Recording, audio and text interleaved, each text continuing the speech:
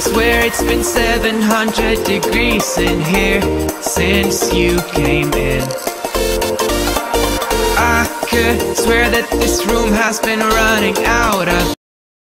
Back to my channel happy new year तो आज इस हैप्पी न्यू ईयर के मौके पे मैं आपको बनाना सिखाऊँगी रफान pudding so let's get started तो गाइस ये रफान पुडिंग है जो कि जिसमें छोटा पैक तो गाइस इसके साथ एक कैरमल आता है और एक ऐसी ही शील्ड में आपको ऐसा पाउडर मिलता है, ठीक है? तकरीबन five to six tablespoon होते हैं अंदर. स्पून होता है, ये उस तरह से है। इसमें शुगर सब कुछ होता है बस आपने इसको दूध में फ्राई करना है तो चलिए बनाना शुरू करते हैं। सो so, गाइस अब मैं कढ़ाई में दूध ऐड करूँगी।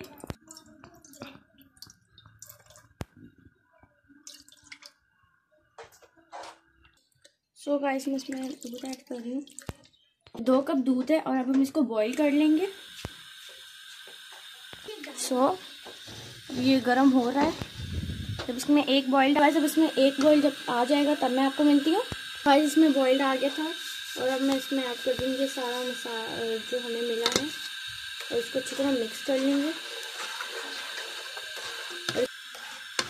इसमें भी जो लम्स आ रहे हैं वो भी हम ऐसे ही चीनी को भी अच्छी तरह रिजॉल्व करके और हाँ ये कैमरा नहीं सॉरी ये येलो कलर का है। तो अब हम इसको अच्छी तरह मिक्स करेंगे और इसके लम्स ख़त्म करेंगे।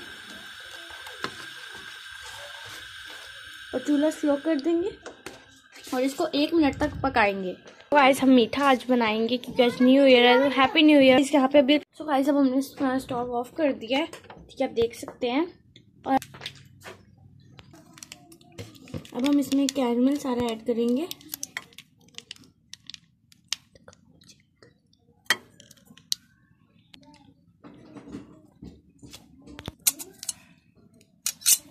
और हम इसको पूरा ओपन सो गाइस इस तरह मैं इसमें सारा ऐड कर रही हूँ। इंट्रो तुम्हारा है?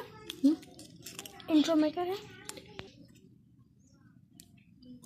सो so गाइस ये बहुत थोड़ी थोड़ी निकल रही है। हम इसको इसी तरह से सारी निकाल लेंगे इसका प्योर और फिर कैरमल जो है।